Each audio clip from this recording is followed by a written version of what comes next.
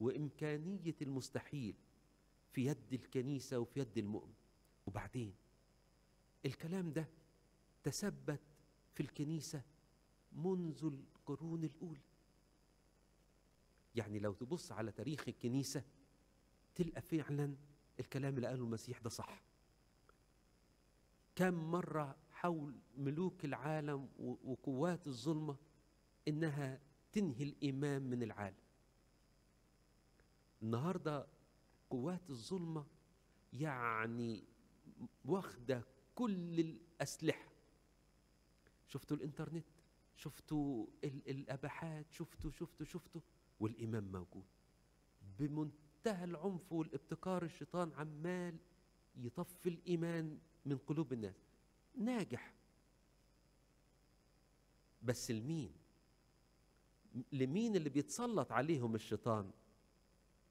اللي ساب الإيمان. ليه بلاد كانت ع... يعني تركيا دي مثلا دي كانت مركز كرازة بولس الرسول.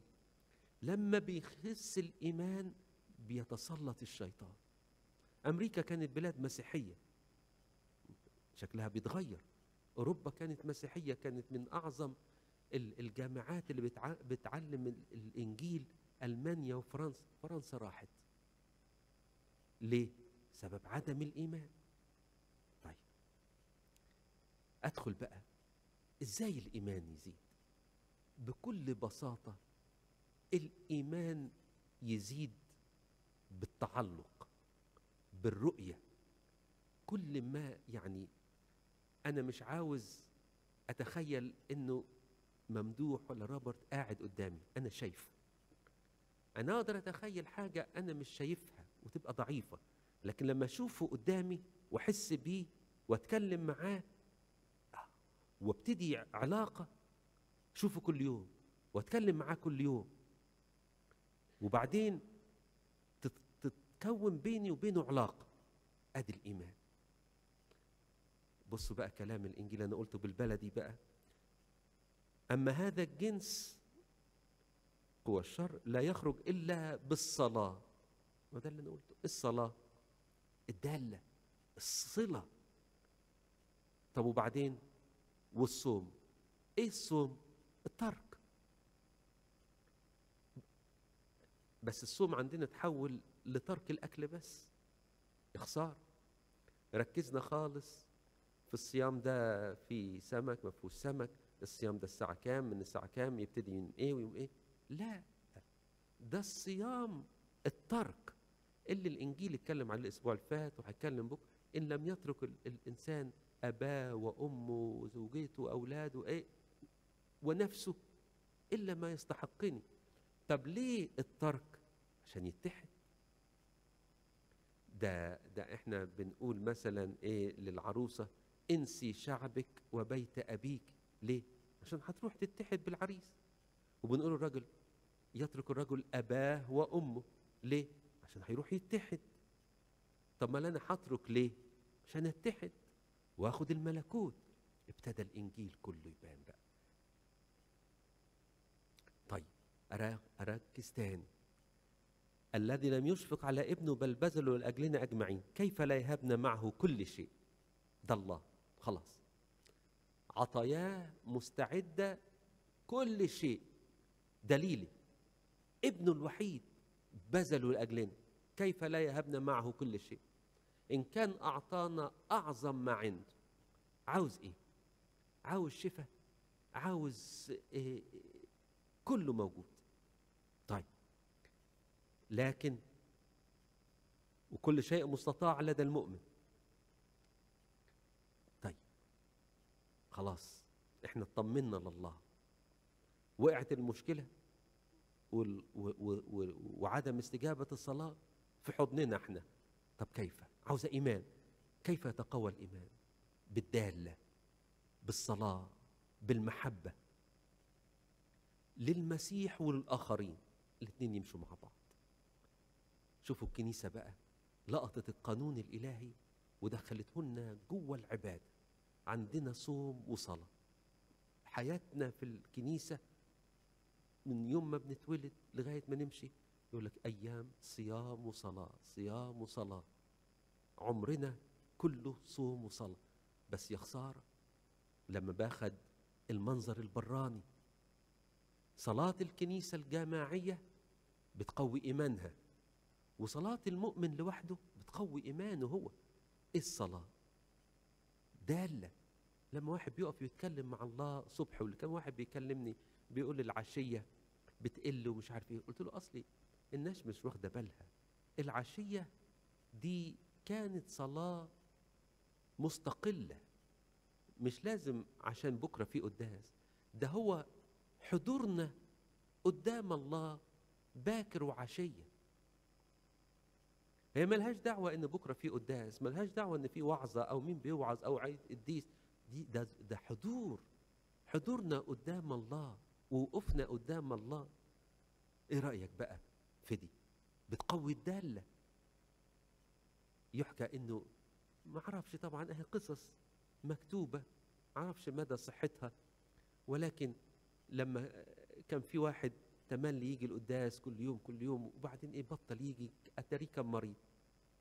كان يشوف واحد يزوره وهو مش عارف ده مين. تاري المسيح. أو الراجل الراهب اللي كان يصوم أربع وجمعة طول عمره وهو في ساعة جنازته يشوفوا ملكين. قصص زي ما بقول معرفش مدى صحتها ولكن الدالة كده. إحنا مع بعضينا اللي بيعمل معاه خير بتبقى حاسس إنك أنت مديون له. طيب إن كان إحنا بعاطفتنا البشرية اللي إحنا وارثينها من الله كلي المحبة ما تحسش كده معايا إنك لما تصوم العمر كله يشيلها لك لما تصلي باكر وعشية ما يبقاش في بينا دالة؟ أكيد. طيب آدي الإيمان. كيف يتقوى الإيمان؟ بالمسيح بالدالة. والدالة دي تيجي إزاي؟ بالصلاة. بس عاوزين بقى الصلاة النهاردة بعد الكلام ده تاخد طابع الحب تاخد طابع العلاقة الاتصال. ما تاخدش طابع القراءة والواجب أديني صليت الصلاة إن خلت من الحب والإحساس والدلة ما لهيش قيمة. أدي تنمو الدلة وينمو الحب وينمو الإيمان. وبعدين الصوم بقى ده السند الدليل إن عشان خاطر يسوع أنا بسيب. بس تاني مش بسيب الأكل بسيب الشهوات بسيب ذاتي عشان خاطر يسوع اللي بحبه. هنا تتولد الدالة والإيمان. طب ولو دي بقت عندنا خلاص. اطلب زي ما تطلب. والتاريخ المعاصر وياما بيوت ياما بيوت فيها آباء وأمهات مش معروفين. يصلوا بدالة وبإيمان ويشفى الولد. موجودة مش بعيدة. المعجزات تتبع المؤمنين. بس تاني يا أخواتنا قفلنا على الإيمان. فلان الفلان القديس المشهور قال أيوة قديسين ولكن لو قفلنا عليهم طب الروح القدس بيعمل إيه؟ ده عمال في الكنيسة هو بطل شغل. ليه قفلنا على القديسين ليه قفلنا على القداسة؟ ونروح لفلان صلي لي صلي لي. أيوة أيوة نافعة. ولكن عندك الإمكانية إنك تربط نفسك بالله بالعاطفة بالمحبة وتسيب وتبقى سيرتك نقية. ما هو الصوم يعني إيه؟ القداسة والنسك وعدم الشهوات الجسد ده اللي بيضعف الإيمان ويضعف الدالة. اللي يطلب من الله ويبقى له دل عند الله لازم حياته تبقى على المستوى. عشان كده خلي بالك لما تقف وتصلي لازم تعرف انت هتطلب إيه. قال المسيح تاني انك لما تصلي يعني إيه صلي بدلة؟ يعني وانت بتصلي تشكر كأنك اخذت فعلا مش تمثيل. أديكم مثل. طبعا من الكتاب المقدس. قال على أبونا إبراهيم أبو الامان الإيمان إنه لما دعي أطاع. طاع هو مش شايف. ولكن ابتدى يتحرك كأنه الله موجود. وعد الله بالنسل فتقوى آه، قدم ابنه إسحاق وهو متأكد إن الله هيقومه. وقال هنروح نصلي ونقدم ذبيحة ونرجع لكم. والولد يسأله فين الذبيحة؟ يقول الله هيعد ذبيحة. ويرفع السكين حتى لو طالما الله قال أنا هرجع بالولد سليم. إيه ده؟ نوح كل الأمثلة دي طبعا من سفر العبرانيين إصحاح 11 نوح ربنا قال له إنه هيهلك العالم. ابتدى يبني الفلك. هو مش شايف حاجة. ده الإيمان. شفتوا الإيمان؟ إنه وعود الله صادقة. آخر حاجة أقولها. إن كان الإيمان ممكن أخرج بيه شيطان طب ما بالك الإيمان أخلص بيه أنا من الشيطان ال- ال- ال- اللي, اللي تعبني أنا. كان ذاتي كان كبريائي إن كان شهواتي. بقول لك إن كان إيمان التلاميذ أو إيمان واحد آخر يخرج الشيطان. كم وكم بالأولى أخرج أنا ال- ال- الشهوات والشياطين المتسلطة علي. خلاصة الكلام. جه المسيح وأعطانا ذاته. ما تدورش عليه من بره. زي ما حكيت لك الناس اللي قاعدة قدامي دور عليه من جوه. خش جوه. اربط نفسك بالصلاة بالمحبة النسك الترك. لما يتقوى إيمانك تستطيع كل شيء لربنا المجد إلى الأبد. آمين.